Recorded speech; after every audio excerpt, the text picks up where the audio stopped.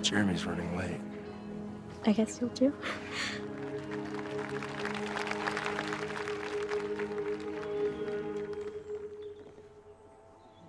You lead.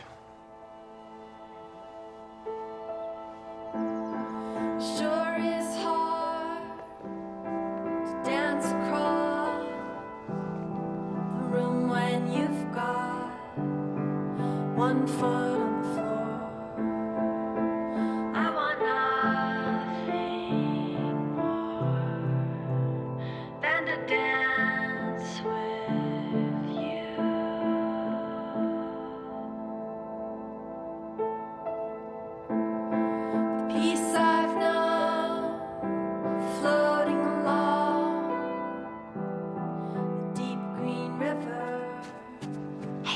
Hey, what's with the last minute escort change? Where is Jeremy? I'm calling him right now. She's not picking up. Do the math. Emo teen, open bar, it's fine. Matt said that Jeremy's been having nightmares about killing vampires and he's been hiding it from me. Relax, I'm sure it's fine. I don't know, I have a bad feeling. If I'm not worried, you shouldn't be worried. Let it go.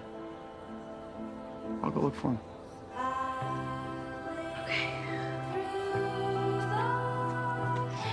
Go home. I'm gonna start asking around here.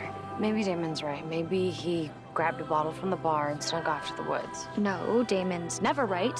Damon is sneaky and manipulative and rude, but he's never right. How can you not see that? I don't know, but why do I think that you won't hesitate to tell me? Fine, for intervention. I think your so-called feelings for Damon are really starting to cloud your judgment, and I don't like it. And the thought of you two together really makes me want to barf. Easy, love. You're making a scene. Wow, Caroline. Thank you for making this very difficult time so much easier. How did I become the bad guy? Let's get you a drink.